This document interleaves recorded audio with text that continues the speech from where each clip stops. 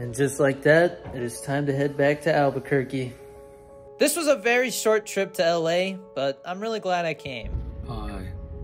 Big shout out to Genie Boy for letting me crash at his place. Please go drop him a follow. I had about a two hour flight to Denver, and somebody was struggling with their bag. I pretty much just slept on that flight because I got two hours of sleep. And once I landed in Denver, I had about 30 minutes to get all the way from Terminal A to Terminal B, which required taking a train.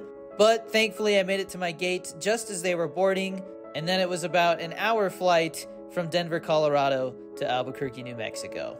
I'm so happy I got to share Pollo Loco with another audience once again, but with all the traveling lately, I'm happy to be home. And now there's Christmas decorations everywhere? I can't believe 2023 is almost over. But the year is not over yet, and there's much more to come.